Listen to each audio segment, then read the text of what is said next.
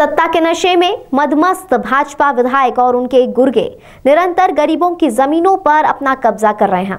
हम बात कर रहे हैं पुवाया में वर्तमान भाजपा विधायक चेतराम की, जो निरंतर गरीबों की जमीनों पर अपना जबरन तरीके से अवैध कब्जा कर रहे हैं।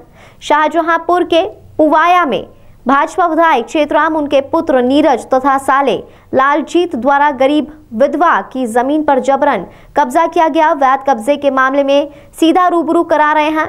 पुयावा क्षेत्र के ही विकासखंड सिद्धोली के ग्राम गुदनी मजरा निवासी गोदावती पत्नी स्वर्गीय ईश्वर की बेशकीमती राजमार्ग के किनारे की ज़मीन पर जबरन कब्जा करते हुए जेसीबी से न्यू खुदवाकर उस पर दीवारें खड़ी कर फाटक लगवा दिया गया। पीड़िता गोदावती द्वारा विरोध करने पर उसे धक्का देकर गिरा दिया तथा जान से मारने की धमकी भी दी गई।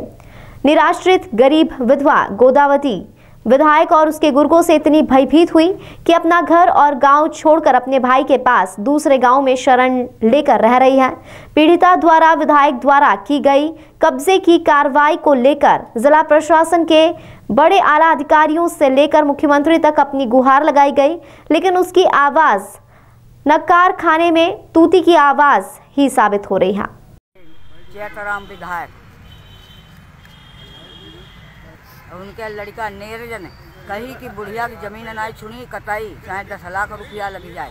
और हमें मारने पीटने के लिए दौड़ा, हमें खतरा है कह हमारे हम अपने भाई तेरे भाजी आए। तो यहाँ नहीं, हम रात ही महीना भरे। और देखो ना, इतने डेमो साहब रह गए, और जहाँ तहाँ, जहाँ हमें बताओ, तहाँ हम गए, सब कहते हैं, छोड़ो ना कोई। हम चाहत हमारी ज़मीन मिले? नौ बीघा है।